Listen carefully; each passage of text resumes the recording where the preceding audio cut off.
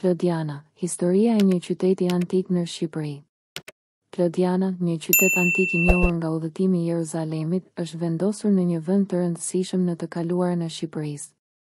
Këtë qytet e gjejmë në një distancë prej katërmbëdhjetë milje romake nga lumi Apsus, në rrugën që çon drejt Apollonisë.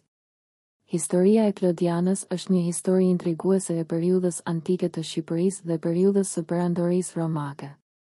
Gjeografia dhe pozicioni Klodiana është një vendndodhje që ndodhet në juglindje të Shqipërisë së sotme, në një vend ku historia dhe gjeografia përbëjnë një pasqyrë të pasur të zhvillimit të vjetër.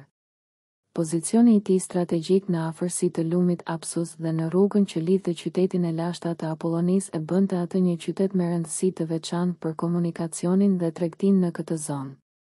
Historia e Klodianës. Klodiana është një nga qytetet e lashta më të njohura të Shqipërisë dhe ka një histori të pasur që përfshin periudhën e antikitetit. Përmendimi i tij në udhëtimin e Jeruzalemit tregon se ky qytet ka pasur një vend të rëndësishme në rrugën e tregtisë dhe transportit të lashtë. Gjatë periudhës romake, Klodiana ka pasur një zhvillim të dukshëm, dhe mbetjet arkeologjike tregojnë për ndërtesa të mëdha dhe të pasura që janë ndërtuar në këtë qytet.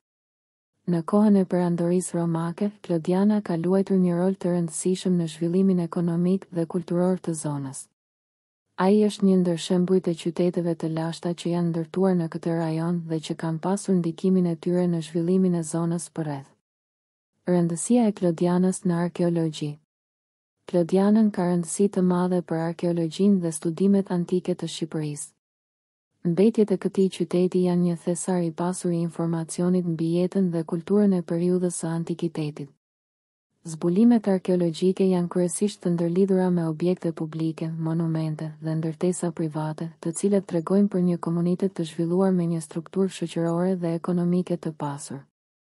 Më tej, shumë nga zbulimet arkeologjike tregojnë për elementet e kulturës romake, duke përfshirë mozaiket e bukura që janë gjetur në disa vende të qytetit. Këto mozaiket janë një dëshmi e nivelit të zhvillimit të artit të mozaikut në këtë periudhë dhe janë një burim i rëndësishëm i informacionit për jetën dhe kulturën e banorëve të Klodianës në periudhën e antikitetit.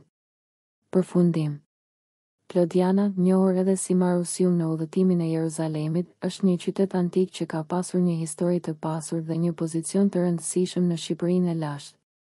Me zbulimet arkeologjike të këtij qyteti, ne marrim një dritë mbi jetën dhe kulturën e një periudhe të largët dhe vlerësojmë thesarin e trashëgimisë së pasur të këtij vendi të lashtë në Ballkan.